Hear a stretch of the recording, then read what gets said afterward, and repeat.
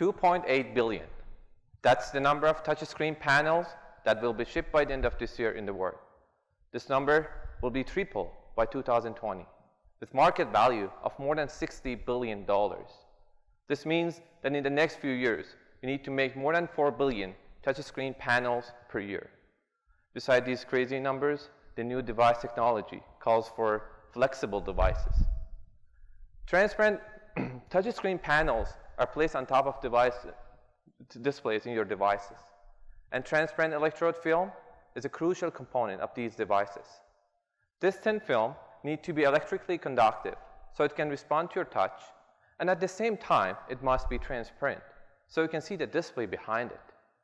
Currently, indium tin oxide film, so-called ITO, is the most commonly used material. However, this material has two major problems. First, indium is rare. If you keep using this material, the price of touchscreen panels will increase drastically in future. The second problem, ITO is not flexible. So it's not possible to make flexible touch, touchscreen panels using ITO. I started my research at the University of Waterloo to find the best alternative material to replace conventional materials. We know that the metals are the most conductive materials, and silver is at the top of the list. However, a thin film of metal is not transparent. So I use silver nanowires, which are 1,000 times thinner than your hair, to make a film of conductive network. This network is highly conductive because nanowires make a highly conductive path for electrons. And since nanowires are small and only cover 10% of the surface, you won't see them, so they are transparent. We know that the cost is one of the most important parameters for industry. And you might think that silver is already an expensive material. That's right.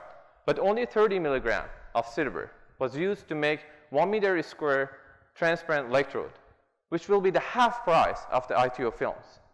Besides this benefit, silver nanowire network is pretty flexible and can be deposited on plastic substrate, which enables fabricating flexible transparent uh, touchscreen panels.